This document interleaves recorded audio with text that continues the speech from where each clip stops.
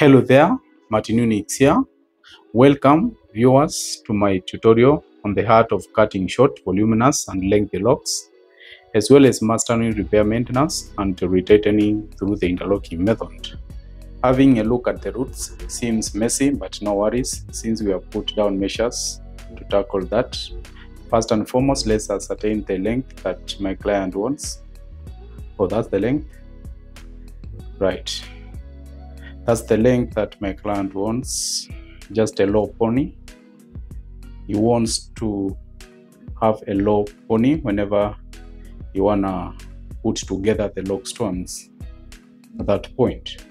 So we need to cut off our lock stones at this point. Sure. So let's go ahead and cut off the lock stones. And it seems we are going to do away with half of the length. So let's go ahead and do so.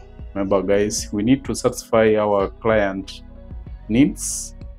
Whether you are a seasoned loctician or a newcomer to the world of locks, join me on this journey as we explore the techniques that will elevate your skill set and enhance your client's experience. So now let's dive into the intricacies of creating and maintaining stunning locks that stand the test of time. So that's the way to go. Let's trim the lock stones in preparation for the next level.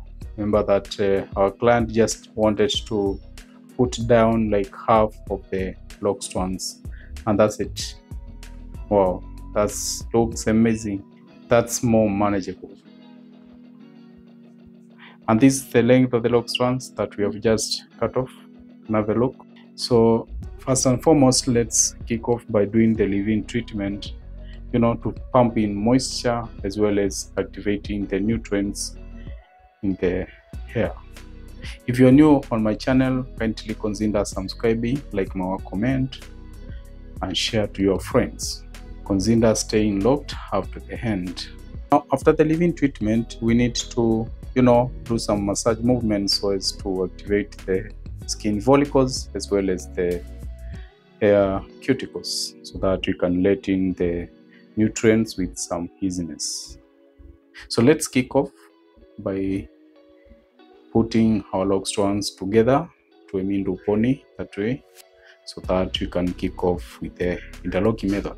On this particular tutorial, I will be adopting a four-point interlocking method, that is a four-way interlocking method, and I will be elaborating further as to why I have chose a four-point interlocking method and not a three-point or a two-point interlocking method.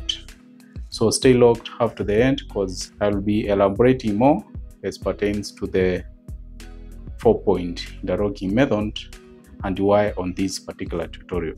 Now uh, we need to kick off, but uh, you realize that uh, I've done like three half of what I'm expected to do on this particular you know client but uh, no worries because I'm going to elaborate in a slow down version just for the sake of our beginners and uh, I will be diving into details when it comes to the techniques to adopt when dealing with these kind of lock stones. First and foremost, we need to take care of the tip where we cut off the locks by crocheting that particular point and you'll realize that uh, the lock stones have got lots of split ends so we are as well going to you know take care of the split ends which are along the lock strands just to manage the loop. You also need to you know gently do a clean parting without causing tension on the scalp. You can use a pair of scissors where need be instead of stripping the hair strands. How do we do the four-way interlocking method we do that by interlocking the lock strand in a clockwise manner in four different points, as you can see. But I promise to elaborate further on this. First and foremost, let's tackle this first lock strand altogether. But before we, you know, elaborate further as pertains to the four-point interlocking method, let's talk about why. Why cut your lock strands to minimize the length? And what are the factors that might lead to that? And more importantly, uh, what's the benefit of cutting the lock strands into a shorter length?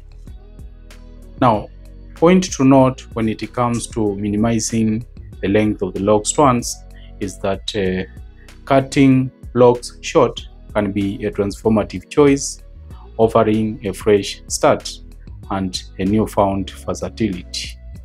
It allows for easier maintenance, promotes healthier growth, and opens doors to diverse styling options. Embracing shorter locks can be a bold statement reflecting individuality and dynamic approach to personal style. All right, I'm just doing some crochet movements, you know, to tuck in the split ends which appears along the lock strand and that's wow, are done. And you can have a look how my interlocks are appearing at the roots. Have a look. It doesn't create the letter Y.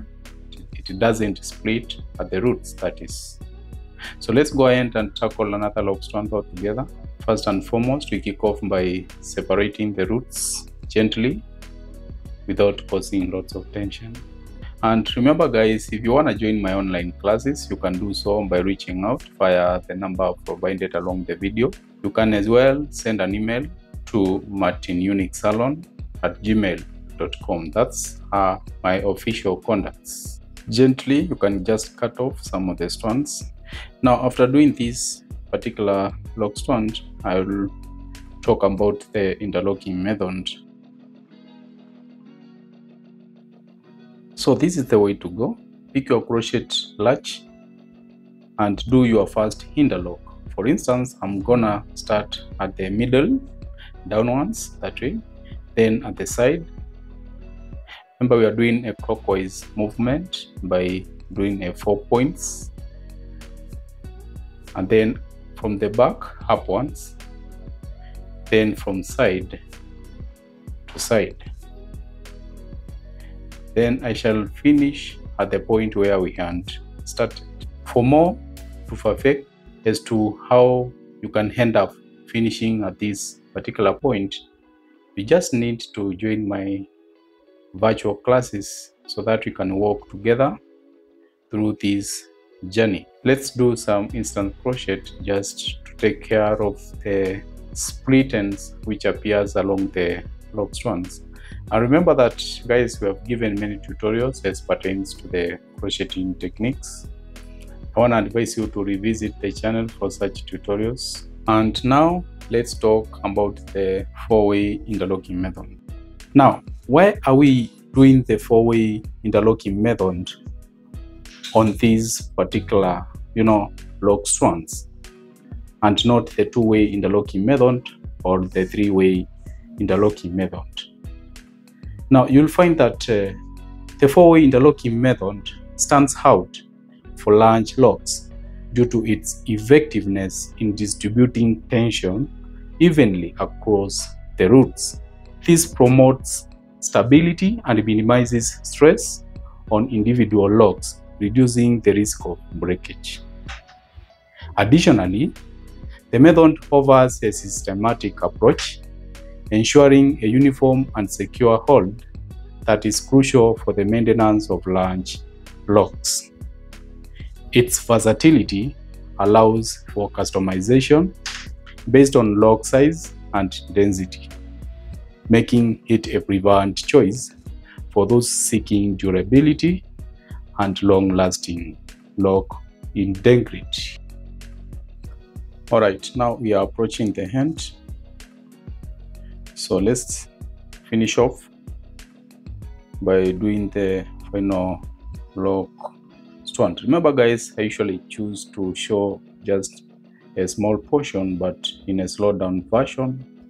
So no need of skipping the video. Just need to watch the video after the end. Consider liking my work. Share to your friends and leave a comment so let's do the final lock strand all together. Remember guys at times you can just pick the in ingrowths and wrap them around the lock strand that way. Then begin your interlocks after which you shall now uncover the hair strands which you wrapped around the lock strand and now reinforce the hair strands by use of the instant crochet so that the hair strands can remain in place like forever. So i think up to this level we are clear on when to do the four-way interlocking method and when not to. Just let me tap your potential by joining my virtual classes. So realize your potential guys join my virtual classes where we showcase on how to do styling as well as logs maintenance. So this is the way to go. This final lock strand that i'm taking you through. So just pick your instant crochet and manage the loose hair strands. And just to tip you as pertains to the instant method usually tilt the lock strand in both clockwise and anti-clockwise uh, movements whenever you are pushing the crochet to and fro as you work backwards. And remember to maintain the crochet inside the lock strand. Don't pull the crochet too far because you might end up breaking the loops. Remember that uh, we have those micro loops which usually get completed and tangle forming the locked uh, lock strand so that's our closing part. So more importantly after doing your interlocks you need to use oil on the scalp just to soothe the follicles on the scalp as well as you know crossing the hair cuticles just to extend the benefit of the treatment for some hours. And that's our final look and it's wow. Let's finish off with an hot oil spray. This is amazing. This is lovely. So thank you for your time. Thank you for watching my tutorial to the end. And stay locked as I look forward to making the next tutorial.